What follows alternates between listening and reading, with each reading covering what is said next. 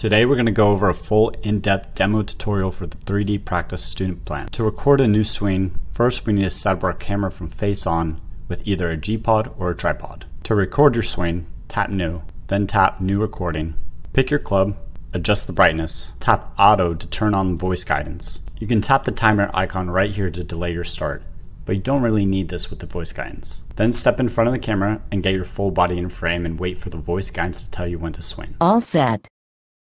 Three, two, one, go. You can take up to three continuous swings, and the app will automatically cut them up for you. Once you're done, tap Review Swing. Then tap Create Session. We'll go into this section more in detail later. Alright, to import a swing from your phone, tap New, then tap Import from Phone. Remember before uploading your swing, it has to be filmed from face on, in slow-mo, and trim the clip to make sure you're only uploading your swing alone. To trim your swing, slide that big bar all the way to where your swing is just displayed in the camera roll. And then slide the little brackets below all the way to each end. And then upload your swing. You can create seven sessions a week, but you can have multiple swings in one session. Alright, let's analyze our swings now. Tap on your session. When your 2D swing appears, you'll see the watch list below automatically. To hide the watch list, tap on the target icon then tap Hide Watch List. If you tap on the boxes inside the watch list, it will immediately make the jump to the swing position that pertains to the watch list item. And using the arrow button, you can go back and forth between multiple swings in the session. You can also do this in the 3D screens as well. Now, let's analyze your swing in 3D. Tap on the Analyze in 3D icon in the top right corner, and then your 3D swing should appear. To view different POVs, tap on the View icon here you can select from the following down the line, face on, above, below, behind, and from target. We'll stick with face on for this demo. Tap on the 3D icon to switch from 3D to 2D to split screen. You can move throughout the swing by using the purple dot here and drag it along the gray bar.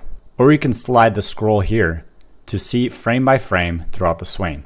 Or you can jump directly to a swing position by pressing the golf club here at the bottom and choose from our seven key swing positions.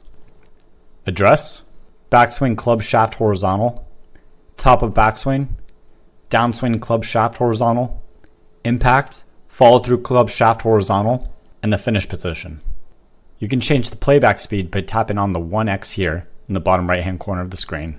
And you can select from the following 0.25x, 0.5x, 1.0x, or 2.0x. You can add a visual by tapping on the 3D diamond icon here. And then we're going to select chest turn and pelvis sway. And then your visuals will be displayed on the screen like so. You can press the numbers tab and you'll be able to see all the numbers that are being tracked as we move throughout the swing. To view your watch list in 3D, tap on the target icon at the top. You can have a max of three watch lists at a time. Tap on the create watch list right here and students can pick from all the popular watch list selections to set and practice, but they cannot create a customized one. Their coach will have to do that for them. To add a reference swing, tap on the three dots icon in the top right hand corner of the screen. And unfortunately, the students can only view reference swings. They cannot add their own. The coach will have to do that for them as well. Moving on to the Sessions tab, tap on the Sessions icon here at the bottom of the screen. This is where you can see all your existing sessions. If we tap on the three dots in session 11 here, we can see the following options to choose from. Rename, add tags, delete session, upload your swing so your coach can see, and finally, analyze the session. We can go to an individual swing by tapping on the details icon next to the three dots here. From here, there is another set of three dots next to each individual swing. Here we can analyze that specific swing, delete the swing, upload this swing so our coach can see, save the 2D swing to our phone, and edit any metadata, but you can't edit the fields for an imported video itself. And finally, we can also add tags to this session by clicking on the tag icon here at the bottom of each session. We can add tags like flushed, high draw, pull hook, etc. You can favorite any swing by tapping on the star icon here, and the share button next to the star can share the 2D version of the swing to anyone of your choosing.